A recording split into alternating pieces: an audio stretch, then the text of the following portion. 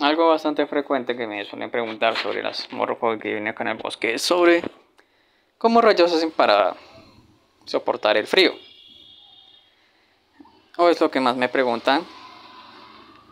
O una buena pregunta que me hizo Tortugarden, el camarada de España prácticamente. Y acá en el bosque cuando llegan las heladas o los bajonazos de frío que casi me mandan pues a Bonilla Claya, mejor vida, porque se me enfermaron, pues la temperatura más o menos puede llegar a bajar hasta los 9 grados. Algo bastante serio o bastante delicado para un reptil como lo son las tortugas.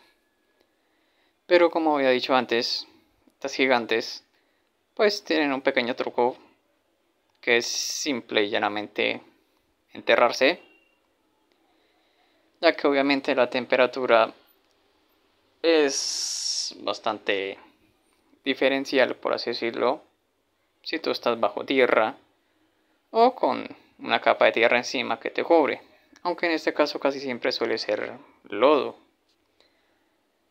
Pero muchos dirán, pues el barro y el, lodo eh, no darían más frío, pues como es lodo mezclado con muchas porquerías de las mismas tortugas y de la hojarasca del bosque y todo lo demás pues todas las bacterias que habitan en este mismo crean el ambiente perfecto para mantener el lodo caliente, que es algo que yo mismo he comprobado.